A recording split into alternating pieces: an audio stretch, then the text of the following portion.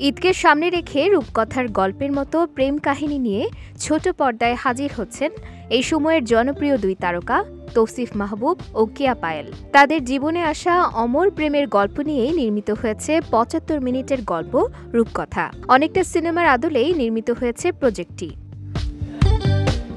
রূপকথা নামের গল্পটিতে প্রেমিক জুয়েল ও প্রেমিকা মিলি চরিত্রে অভিনয় করেছেন তৌসিফ কেয়া জুটি। রূপকথা একই সঙ্গে রচনা ও নির্মাণ করেছেন তরুণ নির্মাতা জাকারিয়া শৌখিন।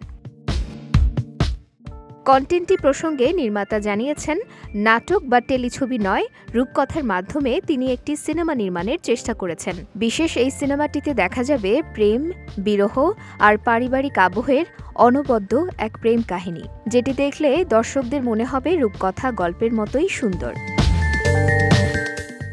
সিনেমার আদলে নির্মিত রূপকথায় অভিনয় করতে পেরে উচ্ছ্বাস প্রকাশ করেছেন গল্পের নায়ক, নায়িকা চরিত্রে থাকা তৌসিফ পায়েল দুজনেই। কাজটি প্রসঙ্গে গণমাধ্যমে তারা জানান, আসন্ন রোজার ঈদে দর্শকদের জন্য একটি সেরা কাজ হতে যাচ্ছে রূপকথা।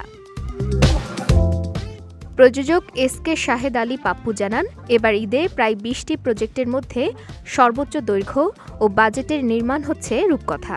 তাই কাজটি নিয়ে প্রতিষ্ঠানটির প্রত্যাশাও আকাশ ছোঁয়া। ঈদ উৎসবের বিশেষ আয়োজনে রূপকথা মুক্তি পাবে একটি ইউটিউব চ্যানেলে।